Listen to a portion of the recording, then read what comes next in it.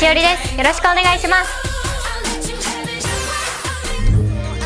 先週は1月21日日曜日に開催されたイオン洛南ニューイヤーズパークのリポートパート1をお届けしました。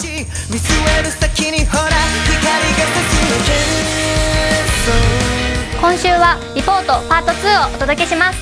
現場リポートのカナンお願いします。イオン洛南ニューイヤーズパークです。今週は後半戦をご覧ください。どうぞ。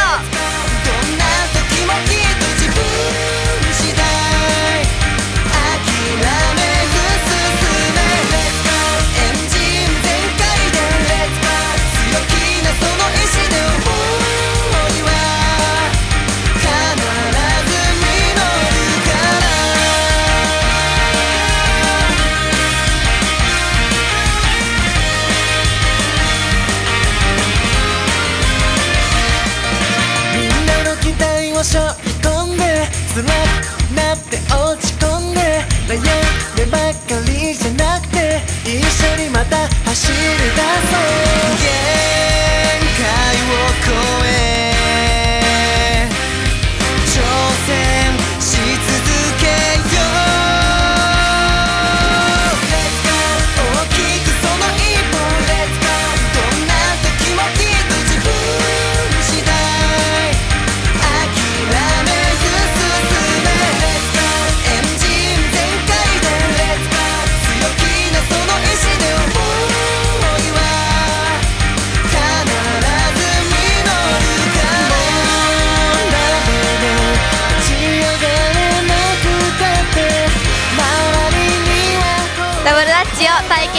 しかったです。お母さんご覧になっていかがでしたか？あの自分の子供とあの同じぐらいの年頃の子があのすごくアクロバティックな動きとかをしてるのを見て感動しました。すごい良かったです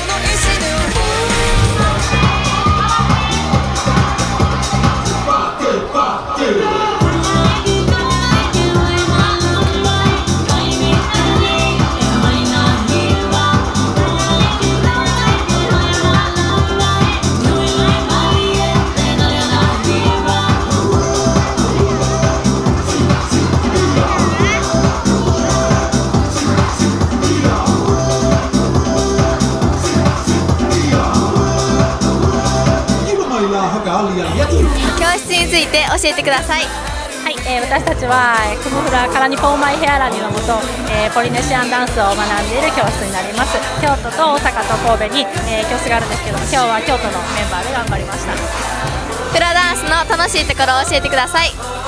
足とか手とかが全部揃ってうまくいったらすごく嬉しいです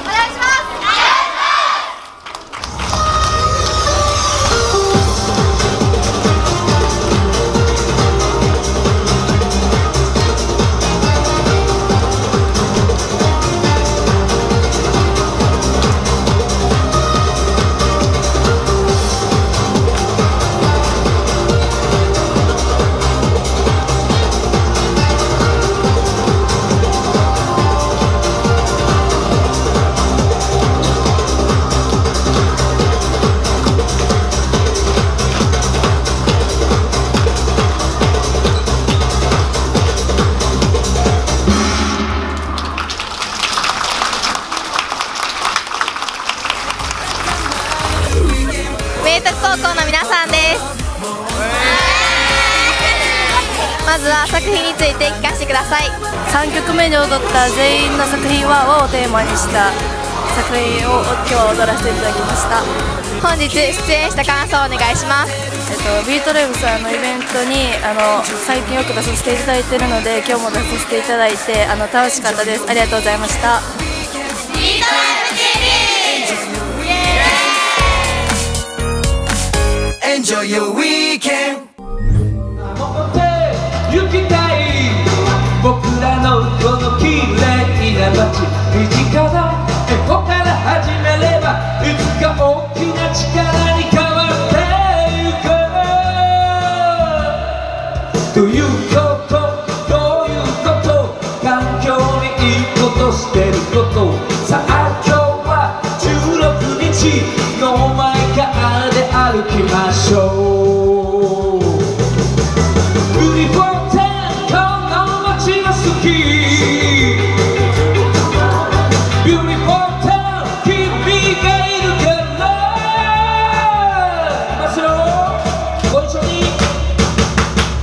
そういうことそういうこと環境にいいことしてること始めよう。今すぐに今ここから始めよう。本日のライブについて聞かせてください、えー、本当に、あのー、ダンサーたちが、えー、どういう京都どういうこと、えー、一生懸命踊っていただいて。あの曲はですね、まあ、最初、えー、京都市のえー若手職員が歌詞を書いてそして僕がメロディーをつけたんです。でそれにダンサーたちが踊りをね踊ってくれるっていうことでどんどん曲が、えー成長していった、えーまあ、そんな記念のライブかなと今日は思いますんで。初めてこうねダンサーの方が踊ってもらったんですごく、えー嬉しかったです。ありがとうございます。次のイベントについて聞かせてください。はい今度はですねビートライブの皆さんと、えー3月の24日そして25日に皆さんと一緒にイベントをしたいと思います。それは環境についていいことしてますか？もちろんエコとそして、えー健康。えー向寺公園でやりますので、えー皆さんと一緒にまたこの曲も踊りたいと思いますんで皆さんぜひ来てください。よろしくお願いします。ビートライブ TV イオンラクナニューイヤーズパークが無事終わりました。イベントを終えてたくさんのお客さんが来られとても楽しかったですカノン現場リポートありがとうございました。ビートライブでは今後も様々なイベントを企画中です。どうぞご期待ください。続いてはインフォメーションコーナーです。好きで高まるウィケン。踊る心も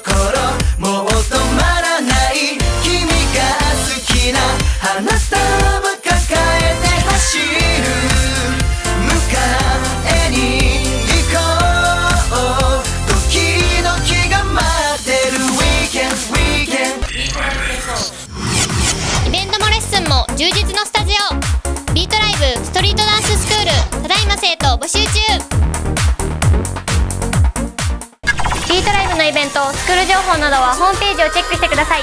メッセージや視聴者アンケートもお待ちしております。